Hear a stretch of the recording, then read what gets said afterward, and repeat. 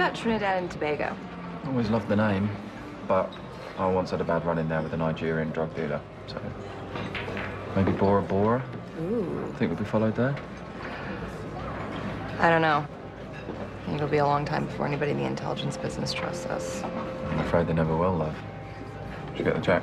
Mm.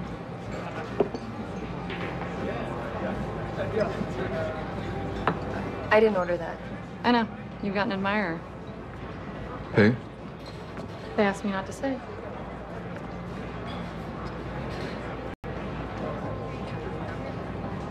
That's Jemma.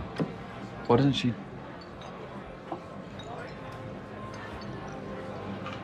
Oh, she can't, can she? You guys must be popular. Fitz is here.